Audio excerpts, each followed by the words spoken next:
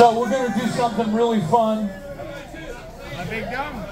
And uh, I don't have to uh, announce this. This uh, this band had they kind of created the style that we are sort of doing. We just kind of put our own spin on it. Um, they kind of created progressive metal, and we're gonna play one of our favorites uh, from this band, and I think that you'll enjoy it. Here we go. Thank you.